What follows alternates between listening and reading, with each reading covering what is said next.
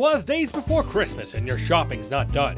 The clock ticks away, hurry up and run. Or you've searched high and low for that one special gift. But where will you find something for dear Uncle Biff?